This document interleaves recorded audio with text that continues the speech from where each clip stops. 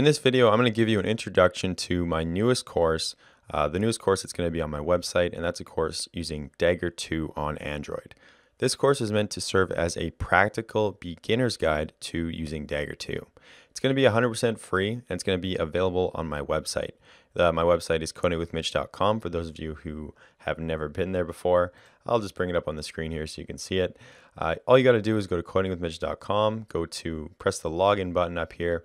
You can just create an account by going to register. It's completely free. All you got to do is fill this simple application out, no big deal.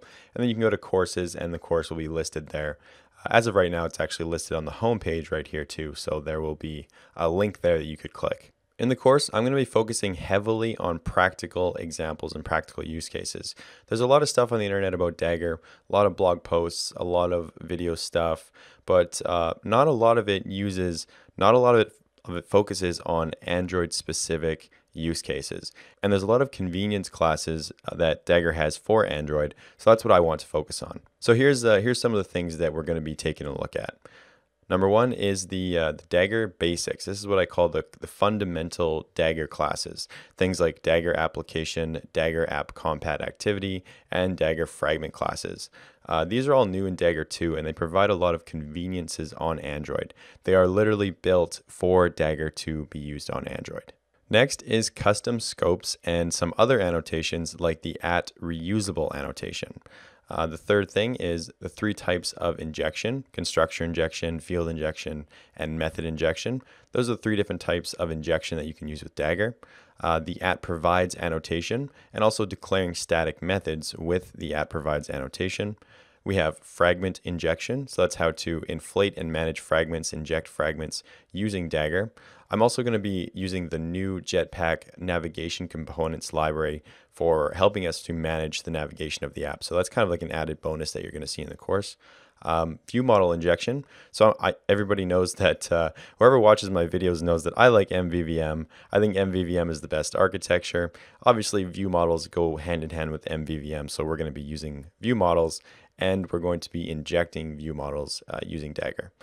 Uh, the repository pattern, so that uh, most MVVM architecture or proper MVVM architecture contains a repository and uses something known as the repository pattern for those of you who don't know. So we're going to be using that.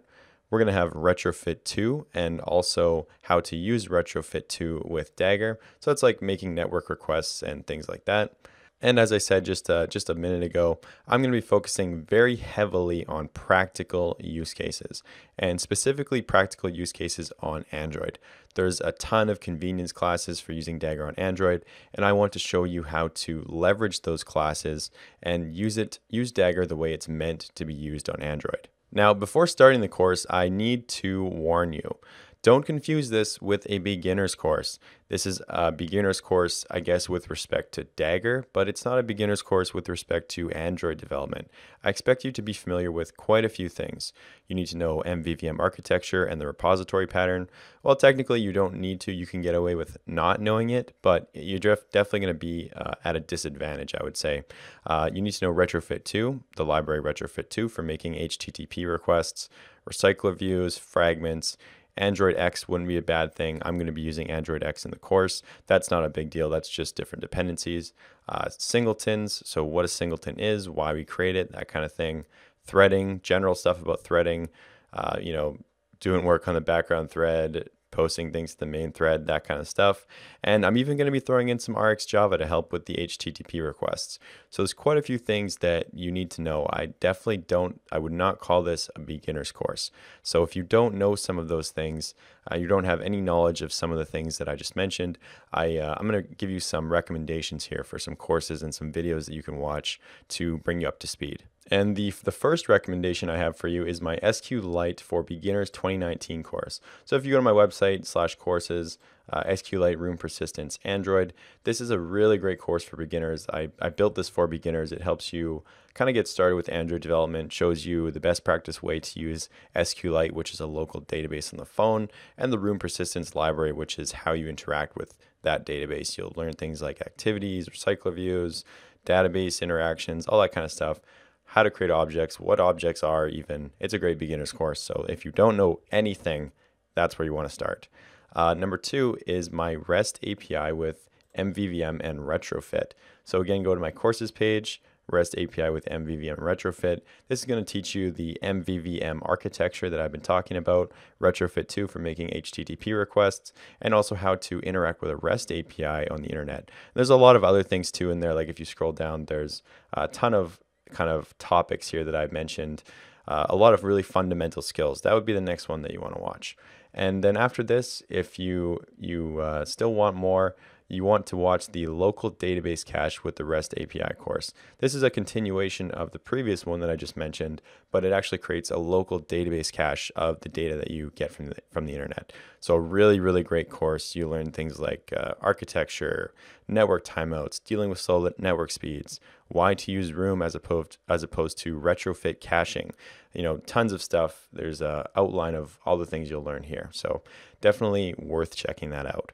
Now, if you're still not sure you want to learn Dagger or not sure if it's worth your time, investing your time to learn it, um, I'm going to make another video after this one and provide some resources where you can learn more about Dagger before you know diving into my course. Because as I said, this is not going to be a beginner course, so it might help you to have some resources to refer to to decide whether or not Dagger is right for you. Um, hint, hint, yes, it's right for you. I think if you're going to be an Android developer, you're going to build an Android app, you should be using Dagger. Uh, there's other dependency injection frameworks, libraries, but Dagger is the popular one right now. If you want to get a job in Android development, you need to know Dagger.